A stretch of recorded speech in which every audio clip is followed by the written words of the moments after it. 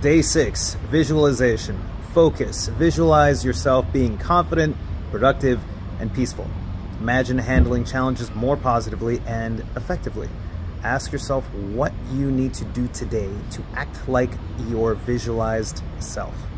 Choose one of those actions, then do it today.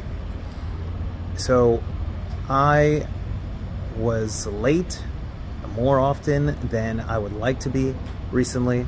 And so I'm visualizing myself, visualizing myself being the person who is not just on time, but early, early being what is considered on time. And so something I am choosing to do today is to plan out what needs to be done before I arrive where I need to go to. I need to communicate with whoever I need to communicate to beforehand and give myself at least 15 minutes of extra time to show up at where I'm going to today to make sure I'm in alignment with who I visualize myself to be. So let's make it happen. So choose one action for yourself and take part of it today.